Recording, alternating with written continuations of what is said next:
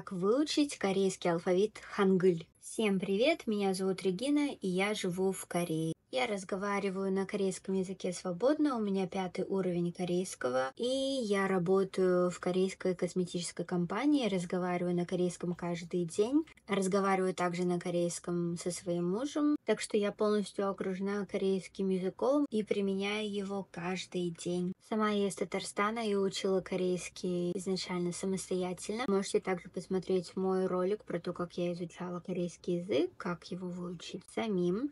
Вообще многие говорят, что выучить корейский язык самостоятельно это легко, потому что он не такой трудный, но все равно для того, чтобы привыкнуть читать, начать быстро читать, нужно какое-то время. И самой мне тоже было изначально тяжело начинать печатать на корейском языке, то есть ты ищешь одну букву, другую, надо все соединить. Поэтому да, алфавит он легкий, просто нужно время, чтобы вы привыкли, чтобы ваш мозг привык. Есть несколько способов, как начать быстро читать на корейском языке. Первый вариант вы можете самостоятельно прописывать буквы, брать слова, писать, писать от руки. Порядок тоже. Написание букв нужно запомнить, поэтому прописывая от руки, у вас это все будет хорошо запоминаться. Есть также приложение для того, чтобы учить алфавит. Об этом, если вам интересно, я могу рассказать в другом видео. Сегодня я бы хотела вам представить такой продукт, как карточки по хангылю. Когда я сама учила, таких карточек я не видела. На российском рынке не было, но есть вот такие карточки, называется хангыль. Тут сзади все вот так напечатано. Три набора, но они все одинаковые, эти карточки. И давайте я покажу, как оно вообще выглядит. Вот такой набор карточек сзади. Все одинаковое, но есть одна отдельная карта именно с алфавитом. И с другой стороны также есть QR-коды на видео, как пользоваться этими карточками паролем. И вот смотрите, их очень много. Я считаю, что эти карточки подойдут для тех, кто приехал в Корею, и вам надо научиться быстро читать, так как вы легко сможете приобрести эти карточки в, в самой Корее. Будете самостоятельно заниматься, и у вас прогресс будет лучше, быстрее. Либо эти карточки подойдут тем, кто на этапе чтения, то есть только начинает учиться читать на корейском, а эти карточки тоже хорошо помогут. Или, например, если вы проводите уроки корейского языка для группы, я думаю, это очень хорошо поможет разнообразить ваш урок, либо, если у вас есть ребенок, и вы сами самостоятельно, например, живете не в Корее, хотите научить э, ребенка корейскому алфавиту. Вот карточка. Э, здесь написано, как произносится, то есть это тоже легко.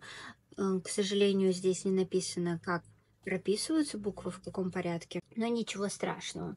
То есть вот, вот такие все карточки. То есть на одной карточке одна буква. Но в наборе здесь две э, Мюриэль, и ее можно найти несколько раз. То есть на два раза в наборе. То есть, видите, в одном наборе две, две буквы. Тут есть и согласные, и гласные, и дифтонги. И даже есть здесь, смотрите, король, который создал этот алфавит, здесь его портрет. И самый такой хороший, удобный способ научиться именно читать по слогам, то есть сначала вы отрабатываете отдельно каждую букву, а потом вот так соединяете, например, хо, потом можно вот так поменять, хо, вот таким образом, да, вот так меняете, меняете и привыкаете к тому, что гласные и согласные находятся в разных местах, то есть они могут быть и сверху, и сбоку, либо, например, вот так читаете Q, Дальше, я думаю, для урока тоже подойдет э, хорошо данная игра, когда вы все карточки раскладываете на столе. И, например, на время надо найти конкретную букву. То есть сейчас мы... Сейчас мы, например, должны найти нен, и кто первый находит, он э, там, набирает очки. Либо вы можете рассадить детей по парам, э, дать там звоночек, и показываете две карточки, и кто на время сможет быстрее прочитать эту букву, эту букву. Либо даже можно придумать такие ребусы. В корейском можно сделать таким образом ребусы. Берете первую согласную слога, так несколько согласных ставите, и должно получиться какое-то слово.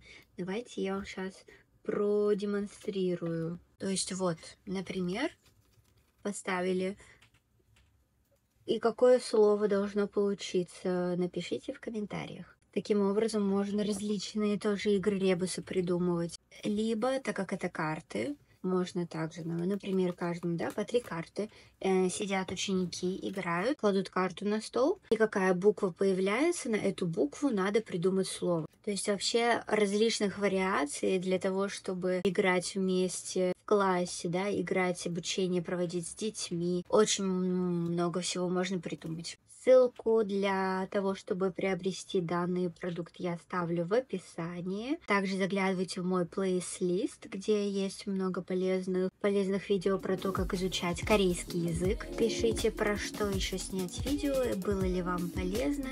Спасибо большое за просмотр.